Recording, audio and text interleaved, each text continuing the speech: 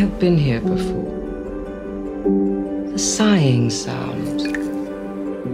You have been mine before. Hello, stranger. Hello, Mom. Hello, stranger. Hello, Mom. I can't bear to think you're unhappy, Jamie. I'm fine. Fine isn't the same as happy. No, we're happy, aren't we, Edward? Yes, we're fine. I'm going to leave. She'll be better off without me. I don't want to be here when you do it. You can't just walk away after 29 years. You have to try. I have tried for 29 years. No.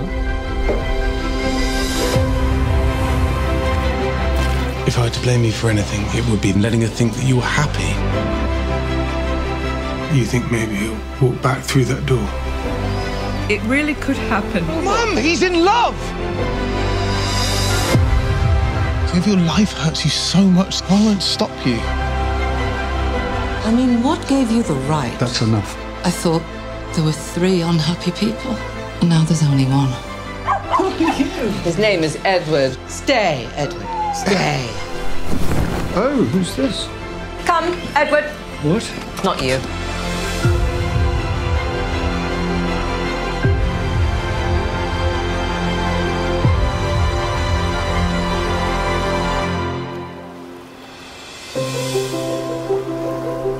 If we get a divorce, I get less than if he died.